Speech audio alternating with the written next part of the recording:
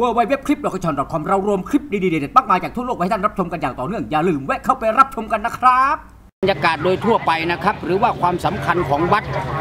เราจะให้ท่านอดีตสกวิรัตคงคาเขตบรรยายเกี่ยวกับความสำคัญ และที่มาที่ไปของวัดอรุณว่ามีความสำคัญยังไงเรียนเชิญเลยครับขอบคุณมากครับ บอกว่ายักษ์สองตัวนี้ นะตัวซ้ายมือสีเขียวชื่อว่าทศกัณฐ์ทศกัณฐ์นี่พวกเราอ่าพอรู้จักกันดีนะทศกัณฐ์นะทศกัณฐ์นี่ถือว่าเป็นดาวร้ายนะฮะดาวร้ายถ้าเป็นผู้ร้ายก็ถือว่าเป็นดาวร้ายนะฮะใน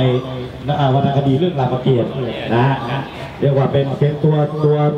พี่ใหญ่เลยนะพี่ใหญ่เรื่องดาวร้าย ส่วนขวามือนี่ศาสเดชะนี่ก็ถือว่าอ่าเป็นอ่าบริวารหวาดเครือของทศกัณฐ์นะฮะ ครับยักษ์สองตัวเนี่ยก็มีประวัติความเป็นมานะฮะแต่จะเป็นยักษ์วัดโพนั้นจะเป็นยักษ์ที่เขาเรียกว่า ยักษ์มาจากเมืองจีนยาเป็นยักษ์ที่มาจากเมืองจีนเป็นเป็นปูปั้นเขาไปตีกันตอนไหนฮะฮะตีกันตอนไหนไปตีกันตอนที่แยกสาวที่ท่าเตียนในวันจีนคือว่ายืมแย่งเงินแย่งสาวอ่าแล้วเขาบอกว่าได้ข่าวว่าวัดยักษ์วัดโพยืมเงินแล้วไม่ใช้ ไม่ใช้ยักษ์วัดแจ้งไม่ใช่เหรอพี่เดี๋ยวให้เปียกไปทวง นะครับครับ อันนี้ก็ถือว่าเป็นสัญลักษณ์ที่เวลโนอีกเหมือนกันนะฮะในการที่ทำให้ชาวต่างชาติเนี่ยรู้จักยักษ์